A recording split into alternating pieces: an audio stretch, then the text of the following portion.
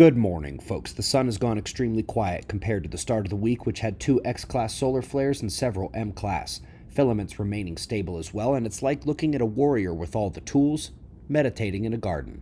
We've still got the southern sunspots with significant flaring potential, and their quiet the last 24 hours or so belies the potential within. Deep within this mishmash of sunspot umbra, we will find a magnetic intruder, that blue area slicing through the red makes this one beta gamma delta magnetic class, and that's been the case for several days. Hopefully it stays quiet, however, unlike before, but you just saw one in the chamber. Some quick coolness from solar astronomy as new telescopes and radio signals are used to create never before seen ways to look at the sun. It remains to be seen how scientifically useful they're going to be, but it is impressive nonetheless. Some baby slaps here. They say that the changes in AMOC, which have been to tank, heat, transport, and shut down that dynamic of the ocean, is natural, not man made. If only they'd have gone the extra mile and suggested it's at the high end of natural variability due to the weakening magnetic field, but alas, taking one off the human causation list. But we're going to add one on to equalize.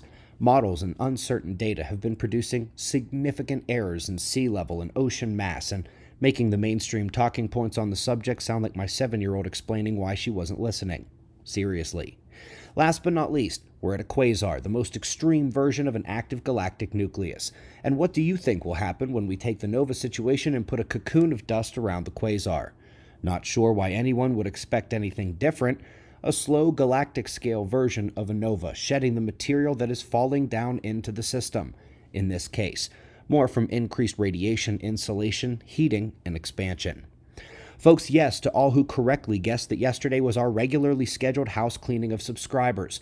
We do it several times a year to keep the trash out. Wasn't expecting so many of the right stuff had expired, gone bad, and rotten. Hmm, we'll have to do something about that. We've got shots of our star to close. Subscribe, and we'll do this all again tomorrow. Right here, but right now it's 5:30 a.m. in the new Valley of the Sun eyes open, no fear. Be safe, everyone.